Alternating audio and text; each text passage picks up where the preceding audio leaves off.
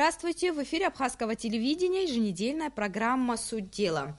Одной из самых обсуждаемых тем в этом году была медицина Республики, скорее ее недостатки.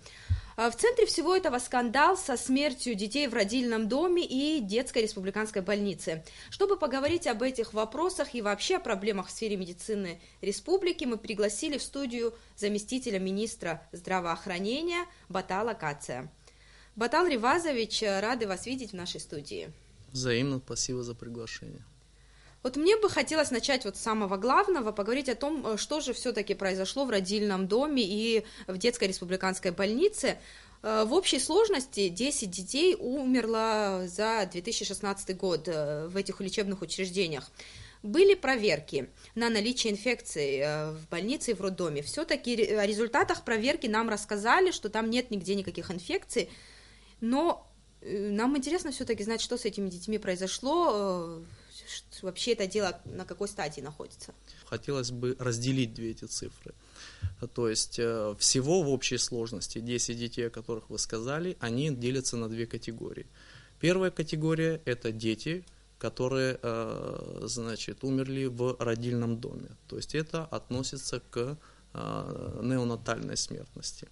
Дети, которые, к сожалению, погибли в детской больнице – это относится уже к младенческой смертности. Это две, два разных показателя, нельзя смешивать их в одну кучу, скажем так. Что касается последнего случая в родильном доме, то по этому поводу, естественно, создана медицинская комиссия по значит, факту прокурорская проверка предварительно проходит, соответственно. После того, как медицинская комиссия завершит свое расследование внутри, она, естественно, передаст все эти материалы, и мы будем его рассматривать на коллегии Министерства здравоохранения. И, соответственно, если там будут э, значит, факты, которые будут говорить о том, что на это надо соответствующим образом реагировать, естественно, эта реакция будет. В том числе, если необходимо, то и прокурорская в том числе. Но пока вы не можете говорить о результатах. О результатах пока еще нет. Ну а сколько времени потребуется вот еще? Э, я думаю, что к э, концу декабря эти результаты уже будут, и, естественно, они будут обсуждены на коллегии. Что касается в общем, хотелось бы сказать, да, э, у нас родильное отделение республиканской больницы является центром на данный момент, в который э, сводится вся патология со всей республики. Поэтому, естественно, если есть какие-то сложные случаи, в том числе и несовместимые с жизнью, естественно, они все в большинстве происходят там.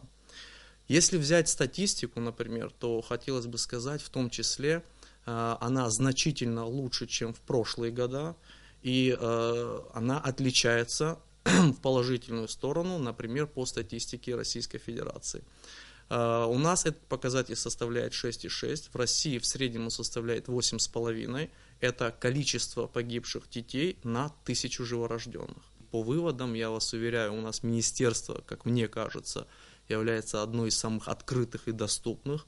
У нас нет сокрытия какой-то информации. Мы всегда за то, чтобы что-то исправить если такие вещи есть. Мы всегда в данном случае, я считаю, объективны, поэтому сделаем максимум для того, чтобы выявить, если какой-то э, случай действительно произошел, ошибка, будь то или там, не дай бог, халатность и все прочее, естественно, это своим образом отобразится в этой в этом отчете комиссии, и на это будет реакция. Что касается детской больницы, э, те пять случаев в год, за последний год, которые там произошли, Э, значит, они э, связаны с патологиями, к сожалению, которые были несовместимы с жизнью.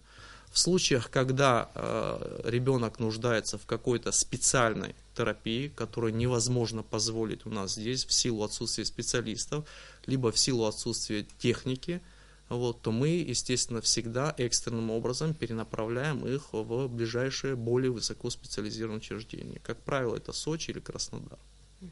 Батал Ривазович, я сейчас предлагаю вам посмотреть репортаж, который мы сняли в детской республиканской больнице, а потом продолжим как раз тему этого медучреждения. Пятеро детей умерло в детской республиканской больнице в течение нынешнего года. Скандал, который наряду со случаем летального исхода среди новорожденных в родильном отделении ЦРБ взбудоражил общество. Дети были в крайне тяжелом состоянии. Из них двое, двое были значит, новорожденные, которые в одного было кровоизлияние в мозг. Это ребенок был переведен из Кварчели, но он уже был переведен уже ну, в вагональном состоянии в течение буквально двух-трех часов.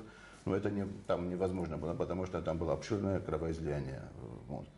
Дети, один ребенок был с, с множественными пороками развития, то есть врожденный порог сердца. Артур Генрихович – единственный детский врач-реаниматолог этой больницы. Физически выдержать такой ритм труда, когда работать приходится по несколько суток, помогает многолетняя практика. За спиной более 30 лет стажа. В реанимационном отделении, которым он заведует, всего две койки для тяжелобольных. При этом не хватает главного – аппарата вентиляции легких для детей до года. И в роддоме у нас тоже нет этого оснащения, вот, работать именно с новорожденными детьми. Там это, конечно, требует колоссальных и средств, колоссальных денег, колоссальных, и это специально, там это, ну, научены и врачи, врачебный персонал, медперсонал, там, ну, к сожалению, пока у нас это не, ну, страдает немного. За текущий год медицинская помощь в детской больнице была оказана около 15 тысячам детей. Из них одна тысяча получили ее стационарно. Врачи этого медучреждения провели около 900 операций. Несколько дней назад завершилась проверка санэпидемслужбы. Ничего у нас не выявлено, ну, это могу вас официально заверить. И все у нас в норме, все стерильно. Инфекции нет, несмотря на то, что здание не ремонтировалось более 30 лет. Своими силами и при поддержке спонсоров, признается главный врач Игорь Джопо, удалось сделать ремонт в нескольких помещениях. Начали с приемной, теперь здесь уютно, тепло и сразу несколько дежурных врачей могут принимать пациентов. Но в целом ситуация в больнице остается катастрофической. Уже, уже седьмой день. Ну, условиями больницы, Условия, конечно, очень хорошие. Трудно. Ну, что делать? Требуется капитальный ремонт здания, замена системы водоснабжения и канализации. На это изыскать самостоятельно средства не удается. У меня был разговор с новым премьер-министром и министром здравоохранения. Они мне обещали, что в 2017 году уже заложен бюджет, даже в первом квартале будут делать частичный ремонт, потому что капитальный ремонт этого здания, конечно, это очень дорого обходится. По непонятным причинам детская республиканская больница до сих пор не была включена в инвестпрограмму, в ходе реализации которой уже отремонтированы и сданы в эксплуатацию несколько крупных лечебных учреждений не только в столице, но и в районах. Остается надеяться, что вопрос этой больницы, имеющей статус республиканской, смогут решить уже в будущем 2017 году. Батал Ривазович, вот интересно, почему до сих пор э, больница, которая имеет статус республиканской, не была включена в инвестпрограмму, когда районные больницы менее крупные ремонтируются, сдаются в эксплуатацию? Почему вот так произошло, что до сих пор? Ну, в данном случае э, я хочу вам сказать, что э, перечень больниц, который вошел в инвестпрограмму по российской финансовой помощи, он, э, этот перечень был создан еще несколько лет назад. Поэтому, э, к сожалению, сейчас внести в этот перечень уже эту республиканскую больницу нельзя, поэтому мы имеем дело только с тем перечнем, э, который у нас был есть на данный момент, тогда. который был утвержден, да. Ситуацию в детской больнице, честно говоря, я не назвал бы, не назвал бы катастрофической. Да, она там непростая, там есть свои сложности, но по мере возможности мы всегда стараемся им помочь. А, аппарат искусственной вентиляции легких э, до года, о котором от нуля говорил, до года, да, да вот именно его года. нет, и он э, Значит, это, э, этот аппарат в данном случае, он есть в,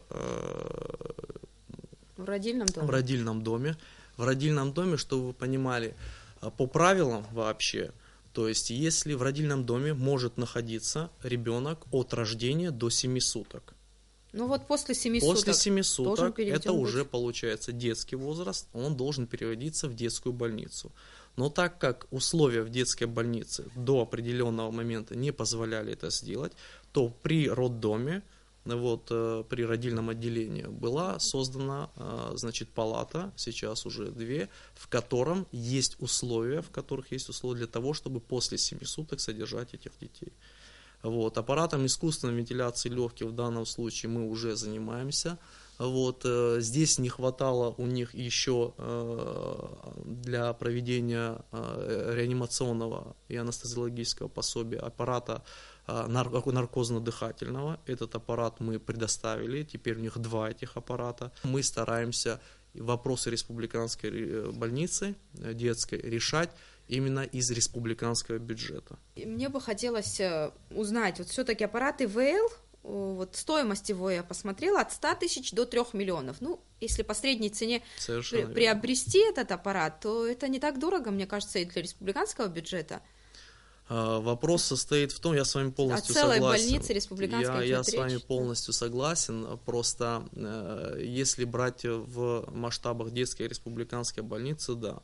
Но, к сожалению, всего по республике очень много таких горящих моментов, которые стоят миллион, три, шесть, семь, а то и больше. Иногда экстренно закупить лекарства. Иногда там, э, особенно летом, э, вспышка вот этих кишечных инфекций в результате повышения температуры а, морской воды и все прочее. Поэтому мы вот в план 2017 года, именно бюджетный, мы заложили средства для того, чтобы э, обеспечить тот минимум, который необходим этим больницам. И я думаю, мы его реализуем в любом случае. Мне бы все-таки хотелось э, вернуться вот к гибели этих детей, еще подробнее об этом поговорить. Если все-таки вина врача будет доказана, вот врачебная ошибка будет доказана, э, как, как вот какой закон будет регулировать этот вопрос? Ни одного такого разбирательства громкого, чтобы с результатами, с, с тем, чтобы он понес ответственность врач. Такого у нас в республике я, например, не помню. В случае, если э, там есть две вещи. Первая это врачебная ошибка, и вторая халатность. Э, и в том и в другом случае если это, а, значит, ошибка, смотря а, какой был нанесен вред здоровью. Легкий, средний или э, Ну, а если о смерти говорить конкретно. Если, если говорить о смерти и доказана вина врача, здесь есть административные меры, то есть, да, насколько было это умышленно сделано или это было по халатности сделано. Вопрос халатности гораздо более строгий.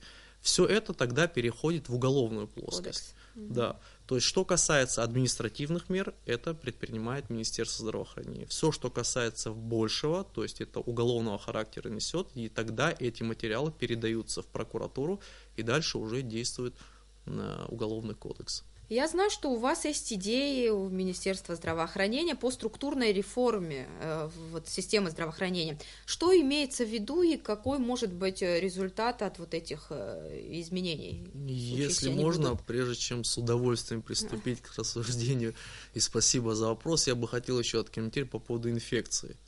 Да, стоял вопрос.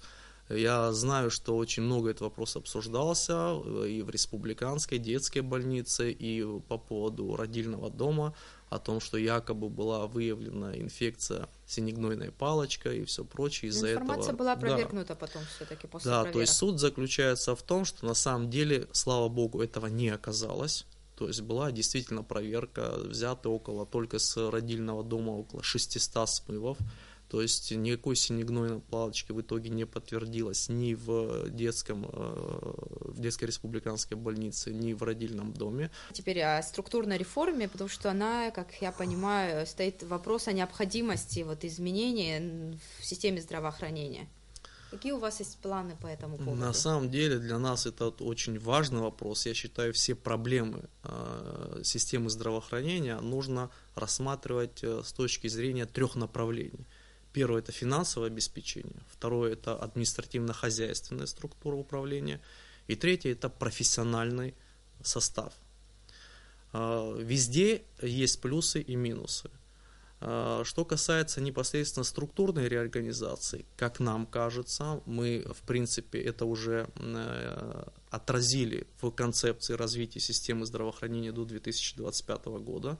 А, президент э, рассмотрел и подписал указ о начале реализации этой концепции. Мы считаем, что э, централизация должна проходить не только административного звена, то есть единое подчинение всех лечебных учреждений республики Министерству здравоохранения. То есть мы считаем, что это будет эффективно, это будет э, настоящая оптимизация сил и средств, то есть всех ресурсов, которые у нас есть. То есть мы можем э, одновременно этим всем управлять и за это все отвечать потому что сейчас э, нам, непосредственно Министерству здравоохранения, подчиняются только 8 учреждений напрямую которые имеют республиканское значение. Все остальные подчиняются городам и районам. То есть города и районы их финансируют. То есть в каком состоянии, например, районная больница, ее административно-хозяйственная часть, это полностью забота главы администрации. Мы считаем, что э, мы способны с этим справиться напрямую. То есть мы все это сможем контролировать и организовать. Мы считаем, что главы администрации вообще в администрациях городов и районов очень много дел э, хозяйственных, которыми они тоже должны заниматься, и не всегда хватает, к сожалению, времени. Тем более, что э, у них отсутствуют вот эти вот райздравы, органы управления районным здравоохранением. Поэтому это наша самая главная реформа, которую мы планируем. Вот. И я считаю, что вследствие этого мы сможем также оптимизировать и централизовать медицинскую службу. То есть то, к чему пришел весь современный мир, укрупнять медицинскую службу, то есть сделать хороший, мощный центр. И э, периферия, так называемая, да, она должна выполнять гарантийный минимум очень хорошего качества. И этот гарантийный минимум, то есть если уже нуждается пациент в какой-то сложной операции или помощи, то здесь в данном случае в течение того самого золотого часа он будет доставлен в центральное учреждение, где ему окажется, э, будет оказываться высокотехнологичная помощь. Это оптимизирует ресурсы в первую очередь профессиональные, потому что у нас есть этот дефицит действительно профессиональных кадров. Вот, поэтому самым лучшим способом это будет их собрать в одном месте вот, и, естественно, периферию оснастить тем, чем необходимо, базовым минимумом. Ну а тогда есть смысл э, в ремонте, в оснащении районных больниц, если вот речь идет об укрупнении медицинских учреждений. Вот сейчас же продолжается, продолжаются ремонтные работы вот в каждом районе. Тогда вот в, в таком объеме, в таком масштабе эти больницы. Ну, на самом деле сейчас это продолжается в рамках инвестпрограммы. Даже вот в, рам- в рамках инвестпрограммы у нас а, планируется реконструкция э, Ткварчальской ЦРБ, но уже эта реконструкция будет с учетом нашей централизации. В общем, можно сказать, что реформа уже постепенно вот, Да, есть э, проблемы. Проблемы заключаются в первую очередь в Э, должном отсутствии нормативно-правовой базы. Мы этим занимаемся, но ресурсов Министерства здравоохранения не хватает, у нас нет научно-исследовательских институтов, которые бы нам разрабатывали нормативы и так далее, поэтому мы своими силами стараемся делать, но это очень большой объем работы. Работы действительно, где должен сидеть и юрист, и врач, и много лет это все делать. Еще бы мне хотелось бы поговорить о вопросе недоверия к врачам, потому что мне кажется, во многом это вызвано тем, что есть определенный уровень, высокий даже уровень коррупции в этой сфере. А как вы вообще относитесь к этой практике, когда каждый пациент не то чтобы вынужден, но вот чувствует себя обязанным дать врачу за прием, при том, что у нас официально в стране э, медицина является бесплатной? Ну, здесь есть о чем поговорить. Э, ну, у нас, в принципе, да, на, на Кавказе всегда считалось, что надо там врача отблагодарить и все прочее, но это как бы личное дело каждого человека. Я категорически против, когда врач называет цену.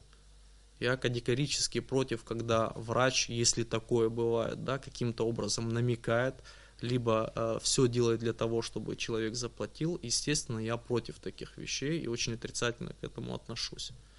Вот. Э, у нас э, очень часто вот пациенты, когда обращаются, э, говорят, вот вы знаете, вот у нас денег нету, вот мы хотим сделать э, операцию какую-то. Я им говорю, скажите, пожалуйста, а вам э, цену называли, вы об этом? Нет, мы еще не подходили, не разговаривали. Я говорю, я вас уверяю, пойдите, запишитесь на операцию, вам сделают операцию, и после этого вы сами принимаете решение. Вам цену никто не назовет, если вы посчитаете своим долгом как-то его отблагодарить, это ваше дело, но не более того. Более того, я всех пациентов, всем пациентам говорю, никогда не спрашивайте, сколько стоит операция. Понимаете? Потому что да если спросите, сколько... Да, совершенно верно. Ну, Никогда ну, а не спрашивайте, стороны... сколько стоит, потому что вам цену назовут. Понимаете? Никогда этого делать не нужно. И врачи, с кем я разговариваю, да, мои коллеги и все, они всегда это понимают. Более того, есть э, проблема недоверия еще в чем? когда происходит какая-то ситуация, и человек не может оплатить, например, что-то, или он считает, что он должен оплатить, он приходит в Министерство здравоохранения. Э, встречаясь с такими пациентами, я им всегда говорю, а вы были у руководителя, у главного врача? Нет, я не был.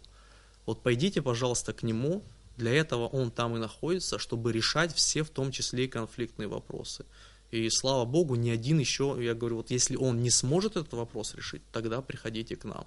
И еще ни один не возвращался, все вопросы решались на месте. Те мифы, которые существуют да, о врачах, о том, что они обязаны что-то делать, они давали клятву Гиппократа, вот эта пропаганда из советских времен, она подпитывалась вот этой вот партийной идеей. После того, как Советский Союз сейчас распался... не дают медики клятву Гиппократа? Нет, они дают клятву врача России, там, ну, смотря кто где учится. Вопрос в другом. Ни одному врачу не выгодно никогда, чтобы состояние его пациента усложнилось. Никогда. Он никогда не делает специально плохо пациенту. Более того, пациенты всегда говорят, а вот если я что-то сделаю не так или не заплачу, он плохо меня обслужит или плохо прооперирует. Готов вас уверить, никогда ни один врач это не сделает. Никому не выгодно, чтобы вам стало хуже. А, случались, к сожалению, такие случаи, да, когда а, по э, обращению пациентов а, в Министерство здравоохранения, они писали заявление о том, что вот врачи якобы намекали и все прочее, чтобы заплатить денег и так далее. Мы всегда их просим. Поймите, для того, чтобы государство как система отреагировало на эту вещь, нужно сесть, написать заявление. Потому что вы просто сказали, я просто его поругал, и он в следующий раз делает то же самое. Но для того, чтобы я организационный вывод или а какое-то что вы можете действие. предпринять в случае, если гражданин все-таки напишет Я заявление? вам сейчас скажу, как происходило это. За последний год было два случая обращения. Они пришли, написали заявление, два человека, вот, естественно, в разное время. И в тот же день забрали его обратно. Ну, а в случае, допустим, вот человек оставил заявление, написал, Если человек оставил заявление, да, если касается это адмитра- административных наказаний, естественно, врач в первую очередь будет, э, значит, писать э, объяснительную, это первое. Второе, руководству будет поручено в этом разобраться.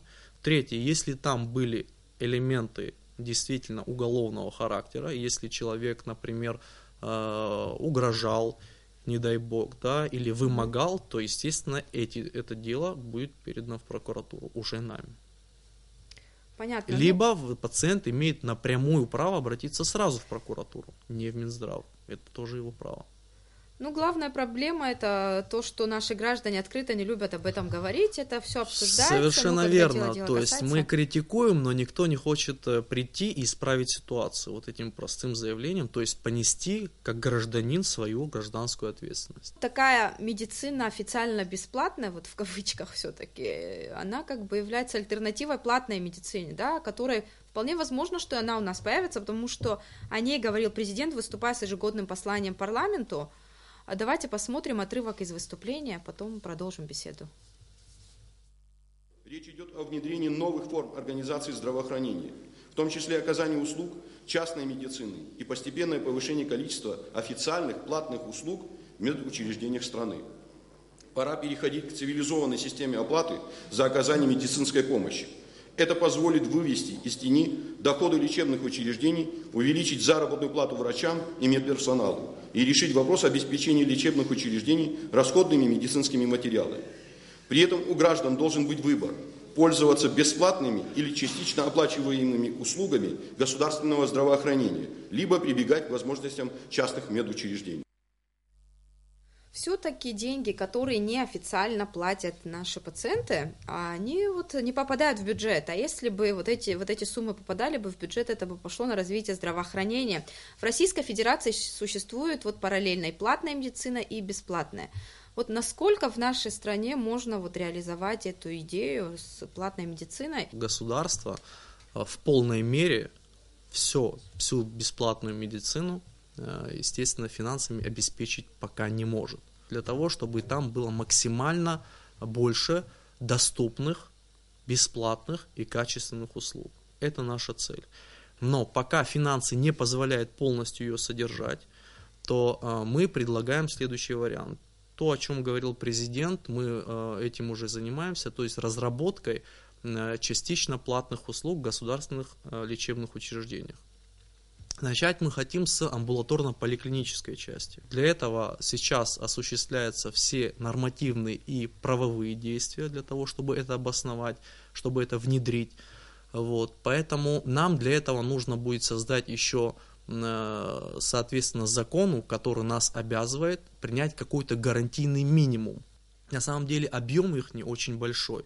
Есть еще, естественно, льготная категория граждан все на самом деле упирается в финансирование. То есть льготная категория граждан, это не значит, что человек пришел, бесплатно э, сделал анализ и ушел. Он это сделал и ушел, но за его анализ должен быть, за его реактивы кто-то должен будет заплатить. При этом, при всем, дополнительно сейчас с нами делаются э, следующие мероприятия, то есть уточняется сейчас и перечень лекарственных препаратов, которые бесплатно получают э, через фонд инвалидов э, Отечественной войны народа Абхазии.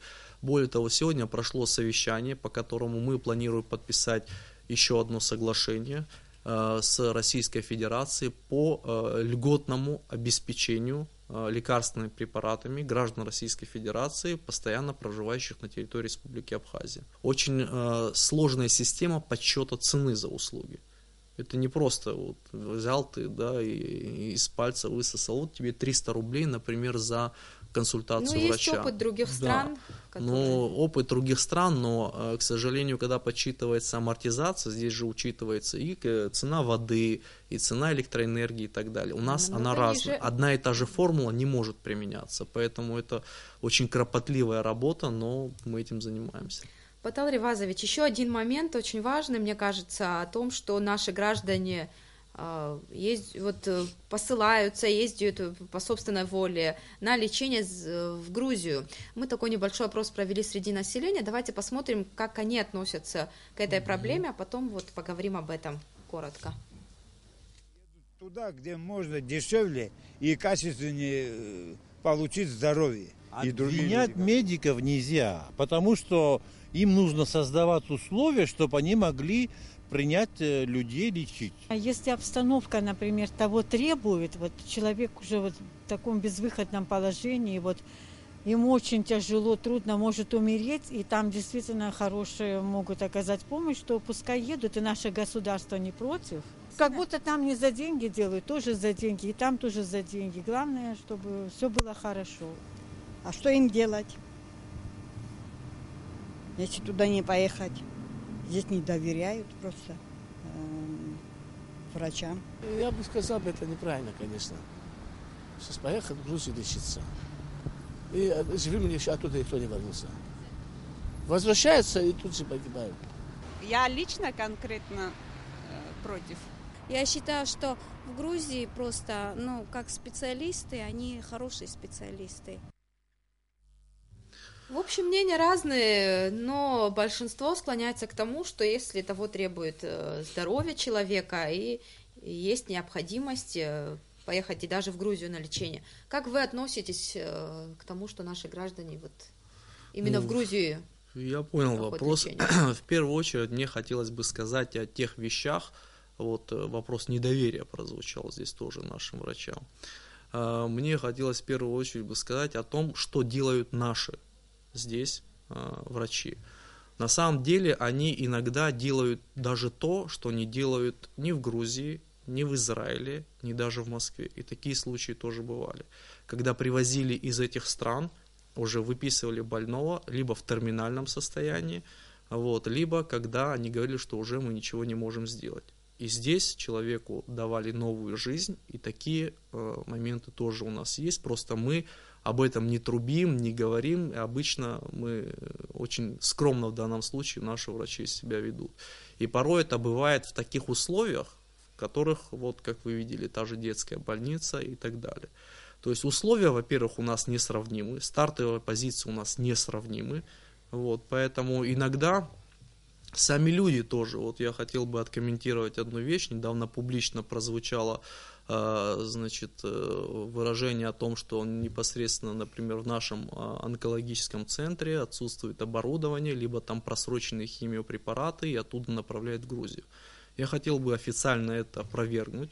вот, сказать, что это не так. Я сам являюсь онкологом, знаю прекрасно этот коллектив и знаю, как там относятся к пациентам. Там действительно индивидуальное отношение, слава богу, поток и количество врачей позволяет к ним индивидуально относиться. Что касается направлений в Грузии, то оттуда точно этого не могло быть, и тем более не могло быть с Министерством здравоохранения. Во-первых, хочу сказать, что Министерство здравоохранения никаких отношений прямых с Республикой Грузия или Министерством здравоохранения Республики Грузия не имеет. Это первое.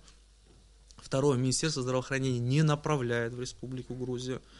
То есть мы направляем только в Российскую Федерацию – либо иногда бывает исключение, когда направляем в другие страны. К нам приходят пациенты со справкой, в которой написано лечение за пределами Республики Абхазия. Дальше уже выбор за самим человеком. Если он походит, хочет поехать в Грузию, он идет в службу государственной безопасности со справкой из медицинского учреждения, в котором написано рекомендовано лечение за пределами. Нигде не написано рекомендовано лечение там, в Республике Грузия. Если служба государственной безопасности считает, что этого человека да, там можно туда пропустить или он хочет, то это их вопрос, они этим занимаются достаточно профессионально. На самом деле система здравоохранения очень капиталоемкая, очень финансоемкая вещь, и в данном случае тоже об этом хотелось бы сказать, потому что сейчас та реформа с учетом введения казначейской системы, мы очень рассчитываем на то, что самое главное в системе здравоохранения, даже те деньги небольшие, которые на нас закладываются, нам самое главное получать их вовремя.